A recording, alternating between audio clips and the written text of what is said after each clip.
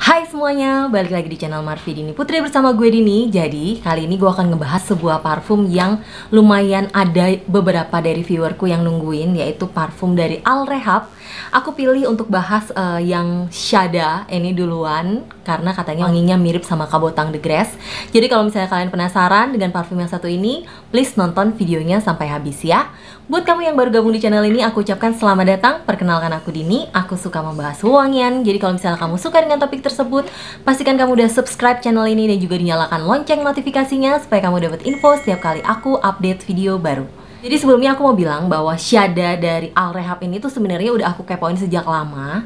Tapi entah kenapa tuh aku selalu bingung atau ragu untuk beli di toko mana gitu. Karena sejujurnya yang jual banyak dan harganya tuh beraneka ragam gitu jadi ya udah akhirnya aku putuskan untuk nyoba kemarin beli di salah satu toko.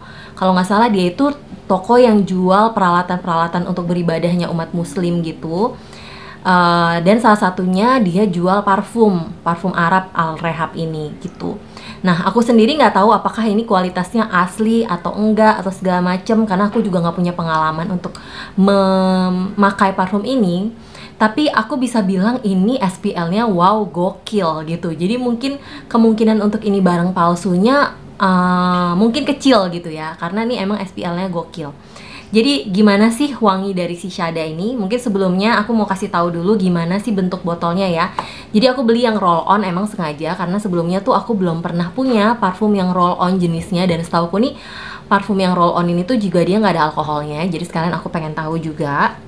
Dan untuk yang kemasan kecil ini harganya murah sih menurut aku. Dia cuma aku beli dengan harga segini gitu dan uh, dapatnya 5 mili kalau nggak salah 6 mili. Ya dapatnya 6 mili. Dengan kotak yang segitiga kayak gini khas dari Al Rehab yang roll on di sini tulisannya alkohol free 6 mili. Dia dibuka dari atas gini dan nah dalamnya kurang lebih kayak gini. Ini di dalamnya. Jadi simple banget cuman ada tulisan Shada dan Shada ini tuh gambarnya bunga mawar warna pink gitu dalamnya jusnya itu warnanya agak kehijau-hijauan mirip sih kayak kabotang. Mirip gitu ya. Karena ini di uh, kalau dilihat di fragrantika katanya mirip wanginya kayak kabotang. Gimana wanginya? Hmm aku bisa bilang ini wanginya tuh 90% mirip sama kabotang the grass yang aku punya gitu ya. Jadi uh, kalau misalnya dioleskan ke kulit dia itu berminyak lumayan berminyak tapi kalau di kulitku sendiri minyaknya tuh hilang kurang lebih satu jaman. Jadi kalau misalnya aku aku eh, balur-balur gini di kulit nah dia nanti kurang lebih satu jaman baru bakal hilang tuh minyak yang bener-bener hilang nggak ada bekasnya lagi gitu. Dan ini minyaknya sejauh yang aku cobain nggak ada sama sekali yang bikin perih di kulit atau gatel. Jadi so far sih oke-oke aja dipakai di kulit gitu Hah, wanginya tuh enak, emang wanginya mirip banget sama kabotang menurut aku. Hmm, bener. Ini tuh wangi-wangi floral yang manis. Tapi memang bedanya adalah untuk parfum yang jenisnya nggak beralkohol gini, dari awal tuh dia wanginya tuh nggak langsung semerbak mabul gitu ya, nggak langsung kayak langsung partikelnya berhamburan ke udara gitu loh. Beda seperti kalau kita pakai yang uh, ada alkoholnya. Misalnya nih, aku coba yang ini yang EDT dari kabotang ya. Nah, dia tuh langsung hmm, awal-awal tuh langsung jerk ada wangi alkoholnya yang langsung kayak ngebuat wangi yang lainnya wangi si kabotang fragrance-nya sendiri itu ikut-ikutan kayak mem menguap ke udara gitu. Jadi akhirnya tuh uh, lebih kesannya itu jadi projectionnya untuk awal tuh jadi lebih kenceng yang uh, versi EDT-nya sedangkan untuk yang versi EDP-nya ini lebih kenceng lagi sih ya wanginya juga mirip. Ya mirip-mirip hampir sama semua wanginya dari ketiga yang aku punya ini. Ya jadi uh, memang untuk projection awalnya si Shada ini tuh lebih malu-malu tapi lama-lama tuh dia keluar gitu wanginya. Jadi kalau misalnya kita dari botol ini aja kayak baru kita buka gini langsung kecium sebenarnya wangi. Langsung semerbak gitu. Tapi untuk awal-awal pengolesan dia nggak langsung yang istilahnya tuh keluar gitu wanginya. Ini wanginya mirip banget sama Kabotang The Grass yang uh, arahnya tuh memang lebih ke arah floral. Ini wangi-wangi floral tapi yang nggak bikin enek. Ada kesan manisnya, manisnya adalah manis floral gitu yang indah banget, yang aku suka banget gitu, yang feminin, mateng gitu, yang istilahnya tuh wangi-wangi wanita dewasa yang udah uh, mapan yang tapi bukan berarti ini wangi nggak bisa dipakai cowok bisa banget wanginya agak berat. Jadi bukan tipikal wangi yang ringan-ringan gitu bukan tipikal wangi yang um, anak muda bukan. Ini wanginya cukup dewasa tapi dewasanya tuh enak banget dicium gitu. Nah kalau misalnya kita ngomongin soal notesnya dari Kabotang itu kan banyak banget gitu ya notesnya. Kalau aku baca berdasarkan Fragrantica ya, aku nggak tahu balik lagi Fragrantica tuh ada yang bilang juga uh, valid ada juga yang bilang beda gitu sama yang aslinya. Tapi uh, sejauh ini itu yang menjadi dasar aku gitu ya. Kalau di Fragrantica itu kan kalau untuk Kabotang de Grace itu banyak banget gitu notesnya mulai dari uh, ada bebungaannya, ada fruitingnya, ada juga wangi-wangi civetnya gitu-gitu dan woody. Jadi ada vanilanya juga jadi banyak banget. Tapi ketika aku buka di Fragrantica notesnya Al Rehab Shada ini tuh cuman ada dua notes yaitu jasmine dan juga rose. Tapi menurut aku sih dari segi wanginya harusnya nggak sesimpel itu. Karena kalau dibilang ini wangi rose juga wangi rose-nya nggak begitu menonjol. Dibilang ada wangi jasmine-nya juga jasmine-nya aku nggak terlalu tercium. Kalaupun itu perpaduan di antara mereka berdua, aku rasa masih ada wangi-wangi lainnya gitu yang ya yang uh, ada di dalam si Shada ini gitu. Hmm, ini tuh enak banget wanginya. Hmm.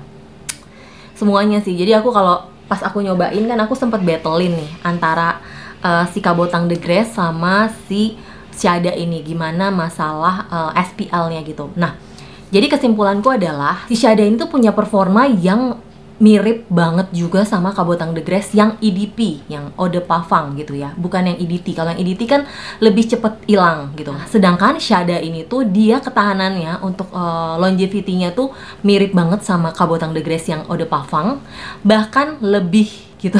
Jadi aku pernah nyobain dia dua-duanya itu lewat dari 12 jam dua-duanya dan di jam ke-12 si Kabotang de Grace yang aku pakai di tangan kanan ini kita ngomong masalah di kulit ya, bukan di baju ya.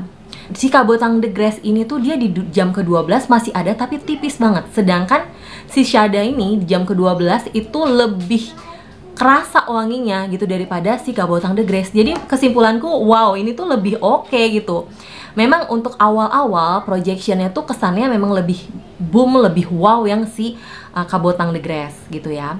Karena dia tuh ya karena mungkin dia ada alkoholnya juga jadi dia wanginya lebih semerbak gitu. Nah sedangkan si Sada ini awalnya tuh ya masih kayak yang berminyak aja terus santai-santai kalem tapi wanginya tuh stay gitu. Tetap ada tetap ada walaupun dia wanginya bukan tipe yang langsung semerbak ke seluruh ruangan gitu. Karena mungkin dia nggak ada alkoholnya mungkin balik lagi ya. Uh, disclaimer aku bukan expert di bidang parfum nggak ngerti juga masalah alkohol alkoholan tapi itu yang sesuai dengan uh, logika aku aja kemungkinannya kayak gitu nah tapi memang kekurangannya adalah uh, si Shada ini ya berminyak aja di kulit dan minyaknya lumayan lama hilang. Jadi buat kalian yang mungkin gak suka sama parfum yang berminyak bakal lumayan mengganggu gitu. Dan dua-duanya ini tuh meninggalkan jejak sih menurut aku. Jadi wangi-wangi tipe yang meninggalkan jejak. Sekalipun si Shada ini tuh dia nggak ada alkohol dan projection yang nggak terlalu sewow yang si Kabotang de Grace, Eau de Pavang tapi dia uh, ketika kita di dalam ruangan terus kita keluar gitu misalkan. Nah di dalam ruangan itu tuh masih ketinggalan wanginya kita gitu. Jadi menurut aku siachnya juga oke. Okay. ya bisa dibilang performanya ini tuh oke okay banget dibandingkan harganya yang bener-bener murah gitu menurut aku jadi ini tuh alternatif banget buat kalian yang mungkin uh, pengen pengen dapat wanginya kabotang tapi dengan harga yang jauh lebih murah. Iya, kurang lebih sih itu yang bisa aku bagikan tentang uh, Al Rehab Shada ini gitu. Untuk siapa yang bisa pakai, terus uh, kapan lebih bagus dipakainya dan bla bla bla itu sebenarnya sama persis kayak Kabotang The Grace. Jadi kalian bisa intip aja videoku yang ada di atas sini yang aku ngejelasin tentang Kabotang The Grace gitu. Tapi yang pasti kalau aku battlein di antara keduanya, aku bisa bilang dua-duanya tuh setara gitu ya, sama-sama oke. Okay. Memang kelebihannya Kabotang The Grace dia nggak berminyak di kulit, terus dia projection awalnya lebih boom gitu ya. Tapi dari segi harga ini lebih murah dan ini juga ketahanannya itu di kulit stay-nya lebih lama. Sama-sama di atas 12 jam tapi yang ini lebih berasa di jam ke-12 sedangkan yang ini lebih tipis. Gitu. Dan aku senang banget menemukan alternatif dari kabotang the grass ini. Mungkin kalian yang sebenarnya pengen nyobain kado kabotang the grass penasaran tapi karena harganya mungkin masih terlalu mahal dan nggak ada yang jual di cannya nah kalian cobain aja dulu aroma dari si Shada ini. Ini wanginya 90% mirip menurut aku.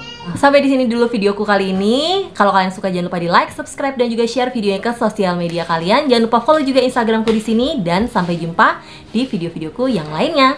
Bye-bye!